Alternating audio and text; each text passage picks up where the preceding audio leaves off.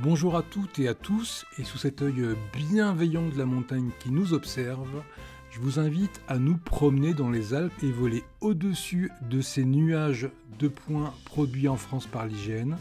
Je travaille depuis longtemps sur ce projet de jumeaux numériques simulables et je voulais partager avec vous cette expérience d'une vérité de terrain où chaque point nous offre une précision d'une dizaine de centimètres.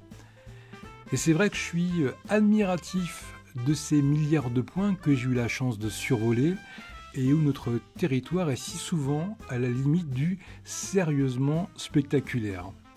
L'outil nous permet de visualiser ces données en temps réel, mais surtout structure l'espace et propose une vérité numérique simulable.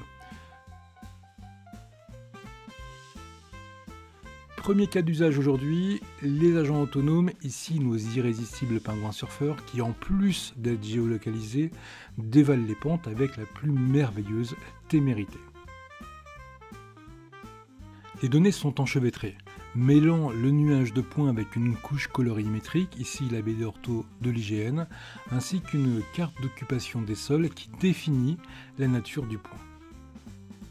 Nous survolerons Chamonix avec une forme d'élégance propre au lieu et je vous invite à retenir que notre projet nous permet de représenter en trois dimensions les données à l'échelle du territoire et que des centaines de milliers d'agents autonomes y sont invités.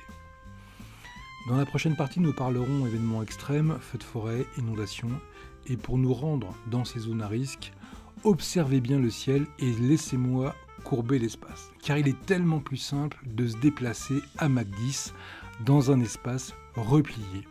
Je vous remercie de votre attention. Mon nom est Olivier Denis et disons-nous à bientôt.